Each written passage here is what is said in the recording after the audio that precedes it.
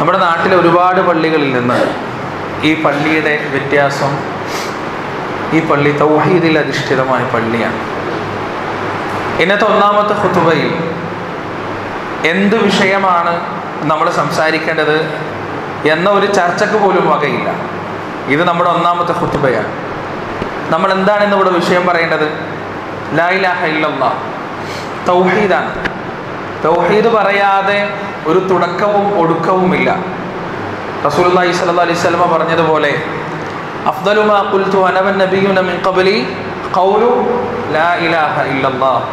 ഞാനും എനിക്ക് മുൻപ് കടന്നു വന്ന സകല പ്രവാചകന്മാരും പറഞ്ഞതിൽ വെച്ച് ഏറ്റവും ഉന്നതമായ പരിശുദ്ധമായ പവിത്രമായ വചനം ഏതാണ്? ലാ ഇലാഹ ഇല്ലല്ലാ.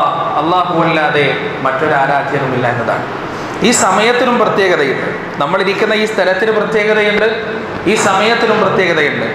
മഹാനായ ഇബ്രാഹിം അലൈഹി സ്വലാത്തു വസ്സലാമിന്റെ പാവന സ്മരണകൾ ഉറങ്ങുന്ന കാലത്തിന്റെ പ്രത്യേകമായ ആ ഒരു സാഹചര്യത്തിലൂടെയാണ് നമ്മൾ കടന്നുപോയിക്കൊണ്ടിരിക്കുന്നത്. നാടെങ്ങും ഹജ്ജിന്റെ തിരക്കിലാണ് ഹാജിമാർ പുറപ്പെടുന്നതിന്റെയും അവിടെ എത്തിയതിന്റെയും തിരക്കിലാണ് നാടെങ്ങും. ഹജ്ജ് എന്നാൽ ദുൽഖാദ് എന്നാൽ ദുൽഹജ് എന്നാൽ ഇബ്രാഹിം അലഹി സ്വലാത്തു വസ്സലാമിന്റെ തുല്യതയില്ലാത്ത ചരിത്രത്തിന്റെ സ്മരണയാണ്. ഇബ്രാഹിം നബിയുടെ സ്മരണ എന്താണ്? ഇബ്രാഹിം നബിയുടെ ഓർമ്മ എന്ന് പറഞ്ഞാൽ എന്താണ്? മറ്റൊന്നുമല്ല. ലാ ഇലാഹ ഇല്ലല്ലാ ലാ ഇലാഹ ഇല്ലല്ലയുടെ പ്രബോധനവും പ്രവർത്തനവും ജീവിതവുമാണ് ഇബ്രാഹിം അലഹി സ്വലാത്തു വസ്സലാം. എങ്ങനെ ലാ ഇലാഹ ഇല്ലല്ല പറയണം? അതെങ്ങനെ മറ്റുള്ളവർക്ക് എത്തിച്ചു കൊടുക്കണം? അതെങ്ങനെ ജീവിതത്തിൽ പ്രാവർത്തികമാക്കണം എന്നതിന്റെ വളരെ വ്യക്തമായ ഒരു നീണ്ട പാഠമാണ് ഇബ്രാഹിം അലൈഹി സ്വലാത്തു വസ്സലാമിന്റെ ജീവിതം മുഴുവൻ എന്ന് ഖുറാനിക ചരിത്രത്തിലൂടെ നമുക്ക് മനസ്സിലാക്കാൻ സാധിക്കും.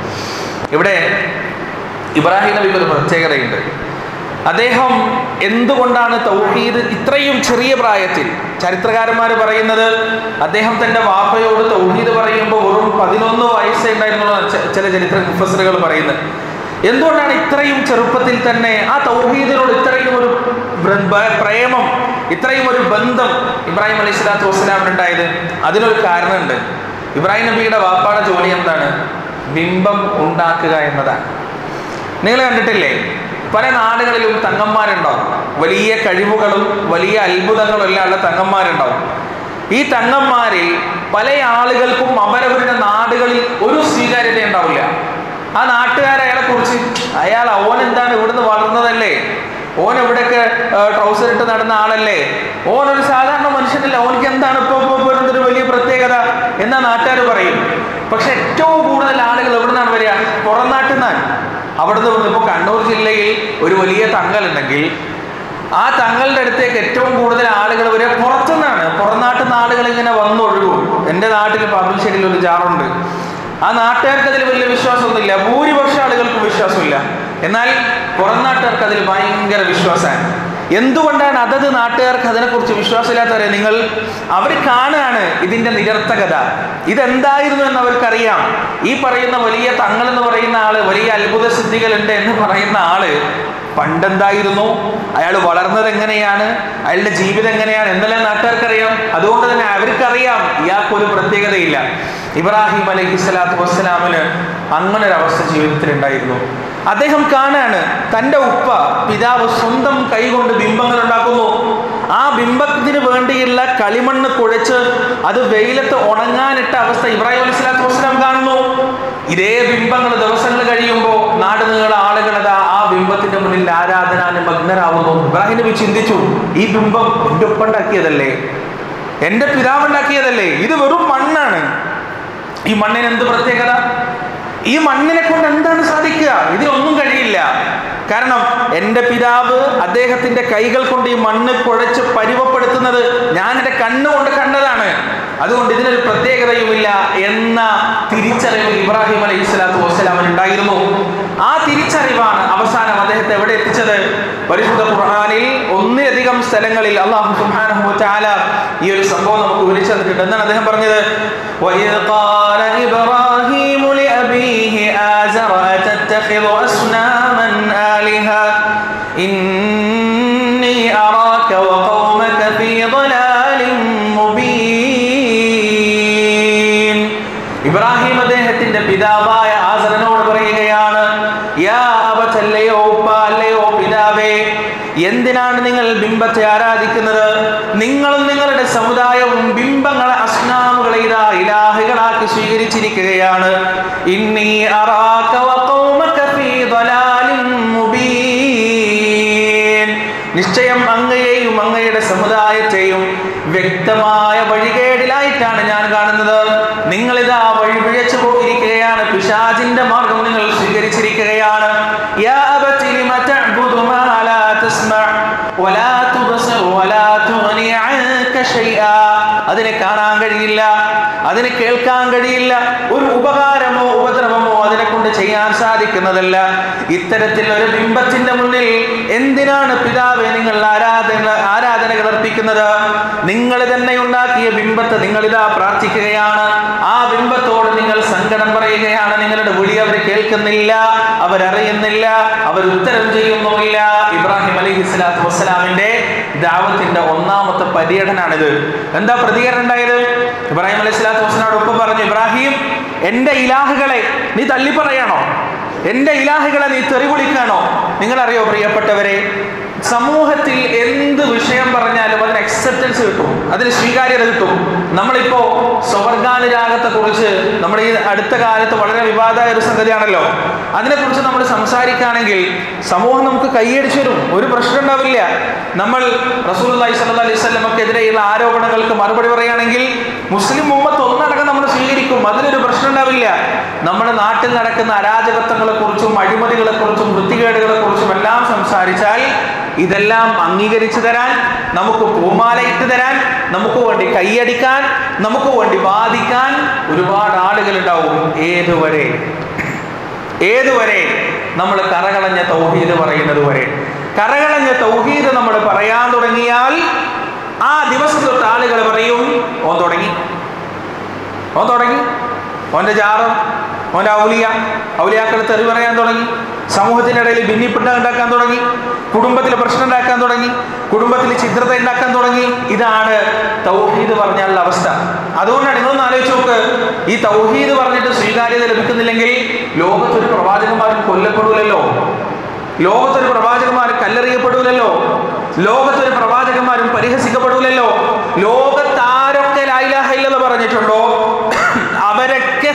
തുല്യതയില്ലാത്ത പീഡന പർവങ്ങളിലൂടെ കടന്നുപോയിട്ടുണ്ട്. ഇത് ഈ ഈ രണ്ടായിരത്തി ഇരുപത്തിരണ്ടിൽ ജൂൺ മാസത്തിൽ നമ്മൾ തൗഹീദ് പറഞ്ഞാലും അത് തന്നെയാണ് സംഭവിക്കുക. ഇയാൾ വെറുതെ വന്നിട്ട് ആ പള്ളിയിലെ ഒന്നാമത്തെ പുതുവയത്തിന്റെ വെറുതെ കുറേ പിന്നെ ആളുകളെ കുറ്റം പറഞ്ഞു ജാരം പറഞ്ഞു അത് പറഞ്ഞു ഇത് പറഞ്ഞു. തൗഹീദ് പറഞ്ഞാലുള്ള സ്ഥിതി ഏതാ ഇബ്രാഹിം അലൈഹി സ്വലാത്തു വസ്സലാം അത് തന്നെയാണ് വാപ്പയിൽ നിന്ന് കേട്ടത്. എന്താ അദ്ദേഹം അദ്ദേഹത്തോട് പറഞ്ഞത്? നീ ഇത് നിർത്തിയിട്ടില്ലെങ്കിൽ നീ വിട്ടു പോയിക്കോ ഇനി നിനക്ക് ഇവിടെ ഒരു സ്ഥാനമില്ല ഇവിടെ നിനക്കൊരു ചാൻസും ഇല്ല എന്ന് പറഞ്ഞ് ഇബ്രാഹിം അലൈഹി സ്വലാത്തു വസ്സലാമിന് ആ വീട്ടിൽ നിന്ന് പടിയിറക്കി വിട്ടത് ആരാണ്? സ്വന്തം ഉപ്പ. സ്വന്തം ഉപ്പ. ഇബ്രാഹിം നബി എന്താ ചിന്തിച്ചത്? പടച്ചോനെ ഉപ്പാന്റെ പൊരുത്തില്ലാണ്ട് ഇനി തൗഹീദ് പറഞ്ഞിട്ട് കാര്യമുണ്ടോ? വീട്ടിൽ ഇനി സ്ഥാനമില്ല കുടുംബക്കാരില്ല.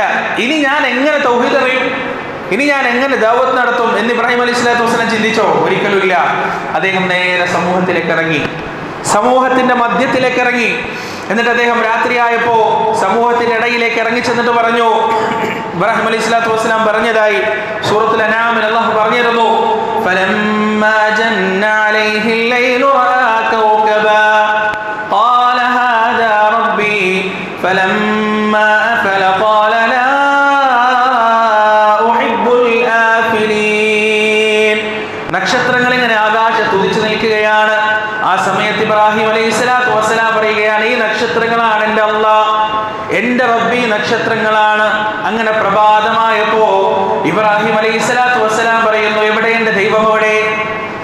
ഇലാഹ് എവിടെ എന്റെ റബ്ബ് എവിടെ അത് അസ്തമിച്ചു പോയോ?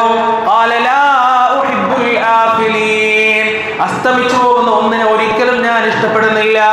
പിറ്റേ ദിവസം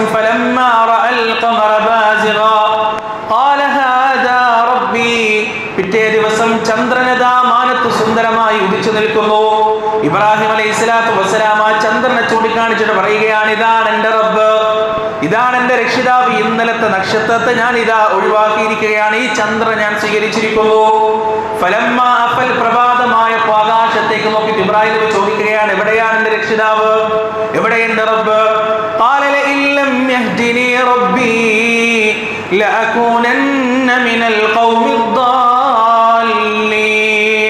എന്റെ രക്ഷിതാവ് എനിക്ക് നിർമാർഗം കാണിച്ചു തന്നിട്ടില്ലെങ്കിൽ ഞാൻ തീർച്ചയായും വഴികേടിലായി പോകും. അതുകൊണ്ട് ചന്ദ്രനെയും ഞാൻ ഒഴിവാക്കുകയാണ്.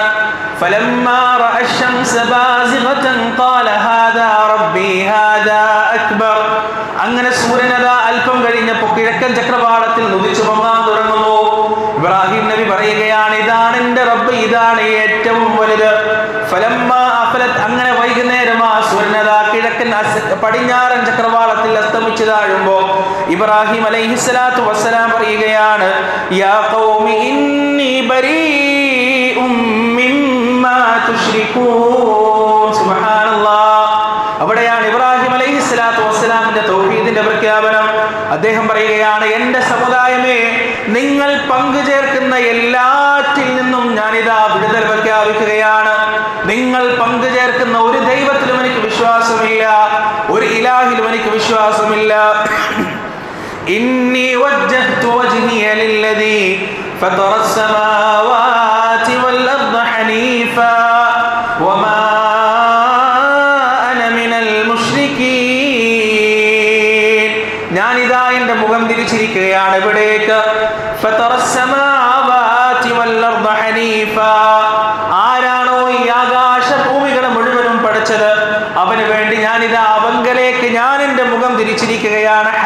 നിഷ്കളങ്കമായിക്കൊണ്ട്.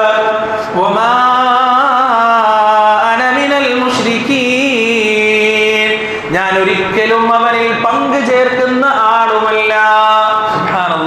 ഇബ്രാഹിം അലഹി സ്വലാത്തു വസ്സലാമിന്റെ പ്രഖ്യാപനമാണ് ഇവിടെ അദ്ദേഹത്തിന്റെ ആ പ്രബോധനത്തിന്റെ രീതി നോക്ക് നിങ്ങൾ. അള്ളാഹു ഖുറാനിൽ പറഞ്ഞെന്താണ്? അള്ളാഹുവിലേക്ക് നിങ്ങൾ ക്ഷണിക്കേണ്ടത് ഹിക്മത്ത് കൊണ്ടും ഹസനത്ത് കൊണ്ടുമാണ്. സതുപദേശം കൊണ്ടും യുക്തി ദീക്ഷയോടുകൂടിയുമാണ് അള്ളാഹുലേക്ക് ക്ഷണിക്കേണ്ടത്. ഇബ്രാഹിം നബി എന്തിനാണ്? ആദ്യം ചന്ദ്രനെ കണ്ടു ദൈവാണെന്ന് പറഞ്ഞു. നക്ഷത്രങ്ങളെ കണ്ടു ദൈവാണെന്ന് പറഞ്ഞു. സൂര്യനെ കണ്ടു ദൈവാണെന്ന് പറഞ്ഞു. പിന്നെ ഇതൊന്നും എന്റെ ദൈവമല്ല. നിങ്ങൾ ആരാധിക്കുന്ന ഒന്നും എന്റെ ദൈവമല്ല. പടച്ചോ മാത്രമാണ് എന്റെ റബ്ബ് എന്ന് പ്രഖ്യാപിച്ചു. യഥാർത്ഥത്തിൽ ഈ ആളുകൾ കല്ലിനെയും മുള്ളിനെയും മുരടിനെയും മൂർക്കം പാമ്പിനെയും കാഞ്ഞിരക്കുറ്റിയെയും സകലതിനെയും ആരാധിക്കുന്ന അതിനെല്ലാം പവിത്രത കൽപ്പിക്കുന്ന അതിനെല്ലാം ദിവ്യത്വം കൽപ്പിക്കുന്ന എണ്ണമറ്റ വലിയകളുടെ എണ്ണമറ്റ തങ്ങന്മാരുടെ എണ്ണമറ്റ ബിംബങ്ങളുടെ എണ്ണമറ്റ ദൈവങ്ങളുടെ എണ്ണിയാലൊടുങ്ങാത്ത വിഗ്രഹങ്ങളുടെ മുന്നിൽ പ്രാർത്ഥനകൾ അർപ്പിക്കുന്ന മനുഷ്യ മനസ്സുകളോട് ഇബ്രാഹിം അലൈഹി സ്വലാത്തു വസ്സലാമിന്റെ ചോദ്യമാണിത്. യൂസുഫ് നബി വാക്കുകൊണ്ട് ചോദിച്ചു ഇബ്രാഹിം അലൈഹി സ്വലാത്തു വസ്സലാം പ്രവർത്തനം കൊണ്ട് ചോദിച്ചു. എന്താ യൂസുഫ് നബി ചോദിച്ചത്?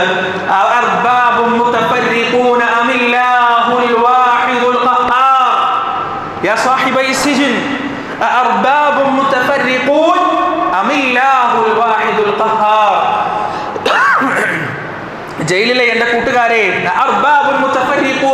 വിഭിന്നങ്ങളായ ദൈവങ്ങളാണോ? നല്ലത്.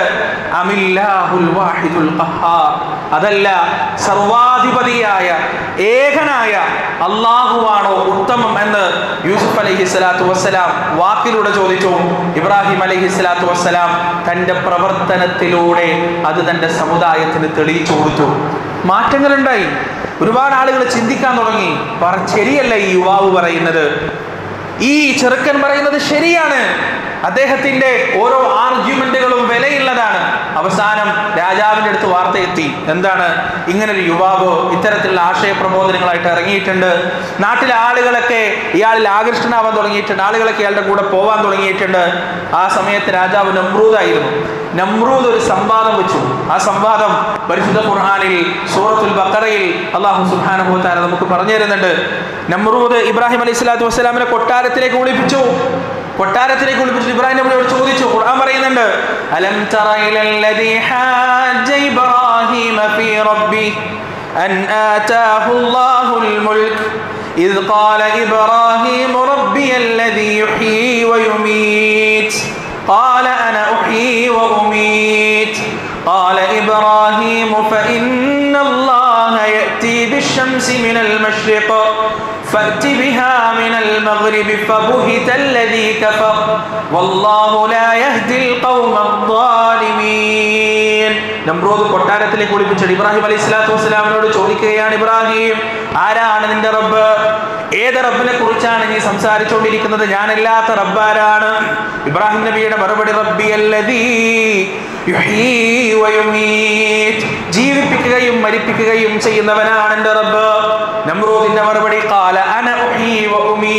ഞാനും ജീവിപ്പിക്കുകയും മരിപ്പിക്കുകയും ചെയ്യുന്നു എനിക്ക് വേണമെങ്കിൽ നിന്നെ ഇപ്പൊ കൊന്നുകളയാം നിന്നെ മരിപ്പിക്കാം അതല്ലെങ്കിൽ നിന്നെ വേണമെങ്കിൽ ഇപ്പൊ എനിക്ക് വെറുതെ എവിടാം നിന്നെ എനിക്ക് ജീവിപ്പിക്കുകയും ചെയ്യാം ആ അധികാരം എനിക്കുമുണ്ട് കാലാന ഉഹീ വ ഉമീത്. قال إبراهيم فإن الله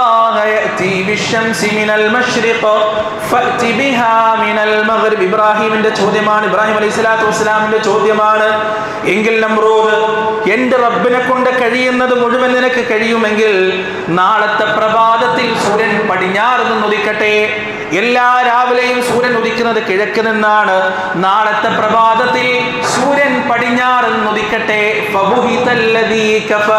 അവിശ്വാസി ചൂളിപ്പോയി അവിശ്വാസി ഉത്തരം മുട്ടിപ്പോയി ഒരു ഉത്തരം അയാൾക്ക് അന്ന് ഉണ്ടായിരുന്നില്ല. ഒരു മറുപടി അയാൾക്ക് പറയാൻ കഴിഞ്ഞില്ല.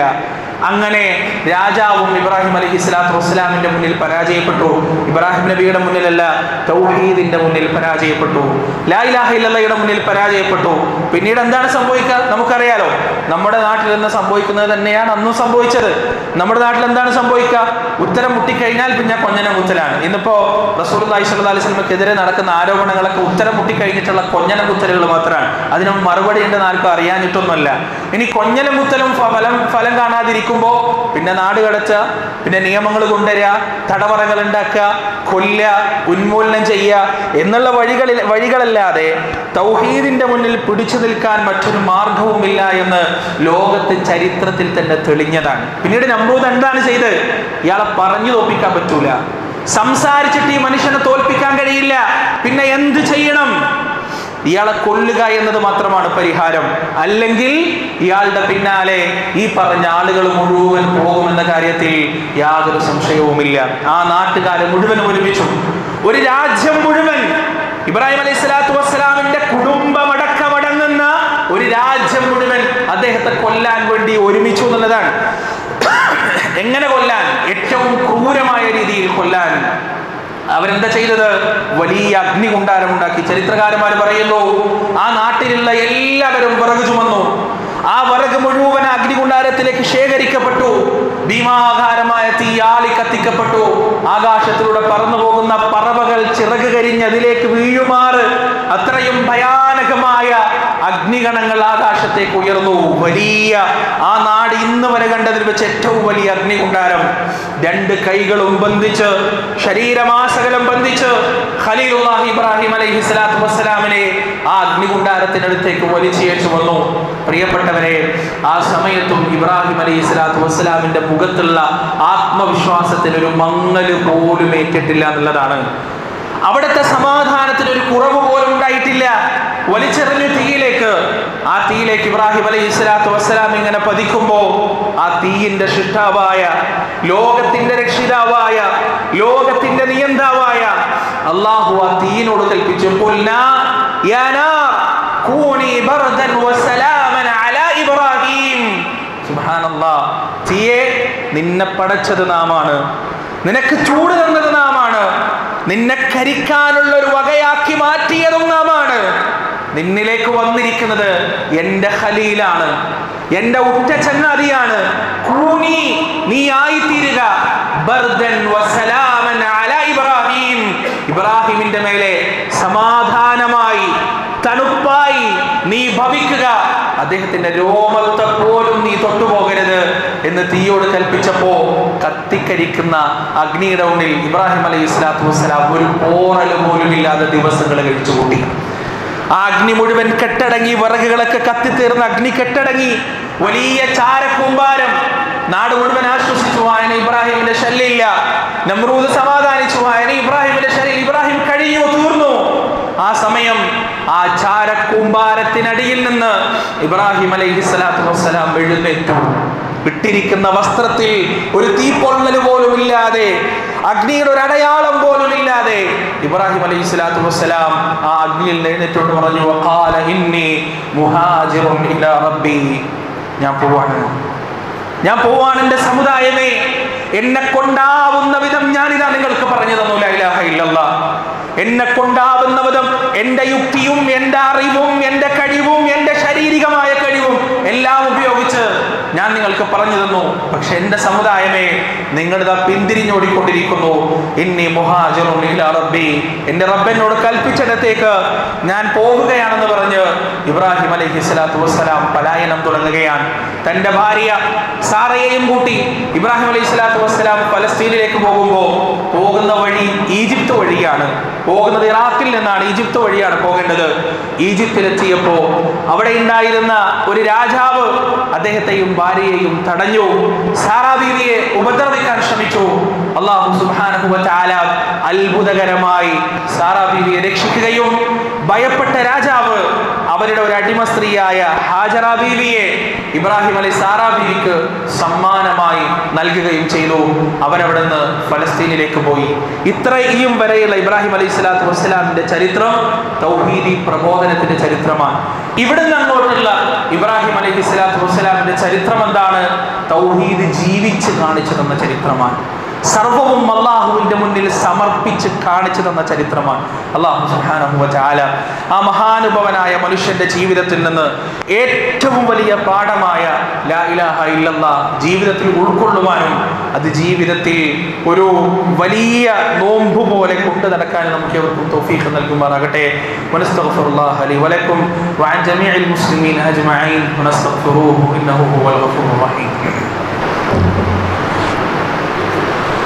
بسم الله الرحمن الرحيم الحمد لله رب العالمين الصلاة والسلام على رسول الأمين وعلى آله وأصحابه أجمعين أما بعد يا أيها الذين آمنوا اتقوا الله حق تقاته ولا تموتن إلا وأنتم مسلمون ഒരിക്കൽ കൂടി അള്ളാഹുവിനെ സൂക്ഷിച്ച് ജീവിക്കണേ എന്ന് സ്വന്തത്തോടും നിങ്ങളോടും വസീത്ത് ചെയ്യുകയാണ് പ്രിയപ്പെട്ടവരെ ഇബ്രാഹിം അലൈഹി സ്വലാത്തു വസ്സലാമിൻ്റെ ജീവിതത്തിൻ്റെ അടുത്ത ഘട്ടത്തിലേക്ക് കടക്കുന്നില്ല ഇൻഷാല്ല വരും ആഴ്ചകളിൽ അത് തന്നെയാണ് മെമ്പറിൽ നിന്ന് പറയാനുള്ളത് ചർച്ച ചെയ്യാനുള്ളത് സംസാരിക്കാനുള്ളത് അത് നിങ്ങൾ കേൾക്കുമെന്ന് വിശ്വസിക്കുന്നു.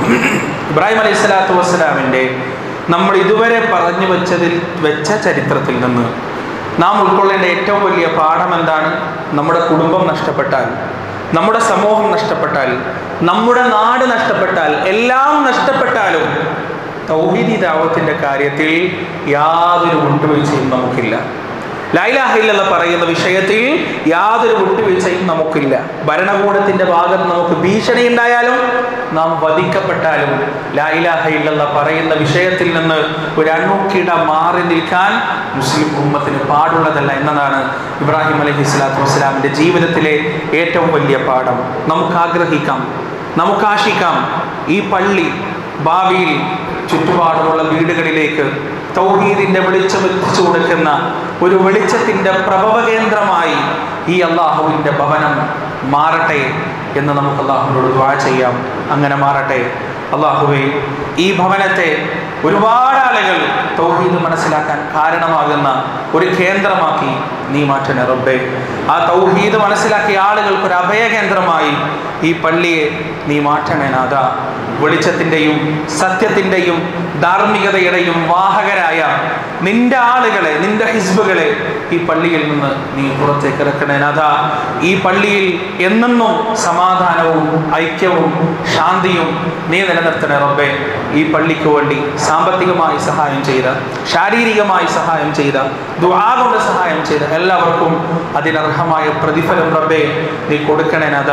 ജാരിയായ സദത്തയായി അത് അവർക്ക് എന്നെന്നും നിലനിർത്തി കൊടുക്കണേ നാഥ. അള്ളാഹുവേ ഞങ്ങളിൽ രോഗികളായി കിടക്കുന്ന ഒരുപാട് ആളുകളുണ്ട്. അവർക്ക് നീ ശമനം നൽകണേ നാഥ. കുടുംബ പ്രശ്നങ്ങൾ കൊണ്ട് പ്രയാസപ്പെടുന്ന ഒരുപാട് ആളുകളുണ്ട്. അവർക്ക് നീ സമാധാനവും ശാന്തിയും പരിഹാരവും നൽകണേ റബ്ബേ വഹദാനീയത്തിന്റെ കലിമത്തിന്റെ വാഹകരായി മരണം വരെ ജീവിക്കാൻ മരിക്കുന്ന സമയം ലാ ഇലാഹ ഇല്ലല്ലാ എന്ന വഹദാനീയത്തിന്റെ കലിമ ഉച്ചരിച്ചുകൊണ്ട് നിന്നിലേക്ക് മടങ്ങി വരാൻ ഞങ്ങൾക്ക് നീ തൗഫീഖ് നൽകണേ റബ്ബേ അല്ലാഹുമ്മ ഗ്ഫിർ ലിൽ മുഅ്മിനീന വൽ മുഅ്മിനാത്ത് വൽ മുസ്ലിമീന വൽ മുസ്ലിമാത്ത് الأحياء منهم والأموات إنك مجيب دعوات يا قاضي الحاجات ربنا ظلمنا أنفسنا وإن لم تغفر لنا وترحمنا لنكونن من الخاسرين ربنا آتنا في الدنيا حسنة وفي الآخرة حسنة وقنا عذاب النار. ربنا تقبل منا إنك أنت السميع العليم وتب علينا إنك أنت التواب الرحيم. وصلى الله على نبينا محمد وعلى آله وأصحابه ومن تبعهم بإحسان إلى يوم الدين.